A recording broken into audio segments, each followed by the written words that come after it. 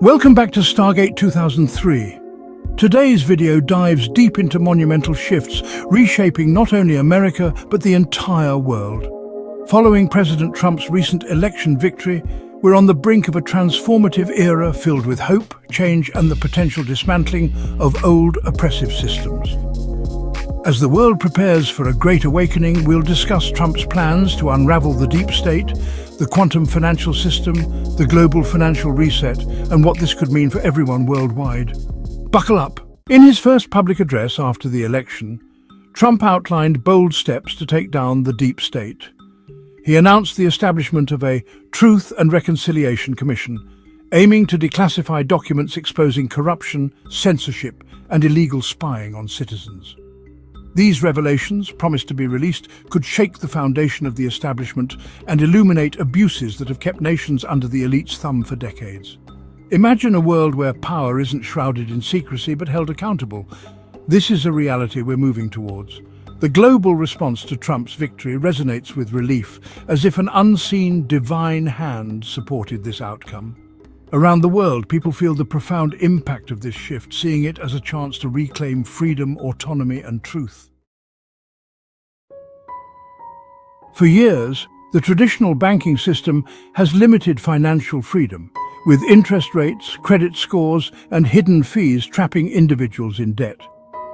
Now, under Trump's direction, the Quantum Financial System, QFS, is rolling out, designed to restore financial sovereignty with Tier 4B, a community of early adopters, at the forefront. The QFS could spell the end of traditional corrupt banking, giving people a way to manage their wealth transparently and without manipulation from elites. This isn't just financial reform, it's a liberation, a financial revolution. Trump's QFS plan seeks to transform the US economy into a beacon of true economic freedom, where wealth is no longer concentrated in the hands of a few, but becomes accessible to all. In a parallel effort, the BRICS coalition, Brazil, Russia, India, China and South Africa, has been validating partnerships with nations worldwide to build a fairer financial system, free from the control of the IMF and World Bank.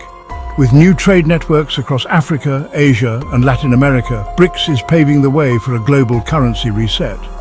This effort aims to break the grip of Western financial dominance and empower nations to flourish economically, challenging a system that has kept many in poverty and debt. The recent 2024 BRICS summit highlighted the coalition's commitment to creating an alternative payment system. Initiatives like BRICS Clear and the New Development Bank are making strides showing the world that a multipolar financial system is possible. Challenges remain, but the movement is gaining traction. How soon will we see this reset fully realized? The Philippines too is stepping boldly onto the global stage, driven by movements like the Reverse Key Program, RKP, that reflect an awakening to reconnect with historical truths and a sense of destiny. Inspired by Trump's renewed commitment to dismantling entrenched systems and with the rise of the quantum financial system, QFS, the Philippines is aligning with a worldwide push for reform and sovereignty. This movement brings a resurgence of national pride and a determination to break free from lingering colonial mentalities. At the helm of this monumental shift is the M1, or Monetary One, also known as the Mariposa, who is set to oversee and execute the RKP. With this leadership, the RKP is poised to be a transformative force, establishing a foundation for national and global empowerment. The Philippines stands ready to play a crucial role in the imminent changes, honouring its heritage while joining a global call for true freedom and prosperity. And As we move forward, it's essential to remember that real change requires unity, compassion and a collective drive for good. This movement isn't about tearing down everything indiscriminately, but about rebuilding a world that reflects our shared values of kindness, understanding and respect for life. Around the world, people are tuning into this movement. From the angels and the unseen realms to those of us here on Earth, there's a growing realization that we have a rare chance to shape a better world. This is a time of ascension, a time to make decisions rooted in our highest potential. In the Philippines, developments connected to this global revolution echo these themes of renewal. With the QFS and the support of BRICS, nations are no longer under the thumb of financial institutions that once dictated policies.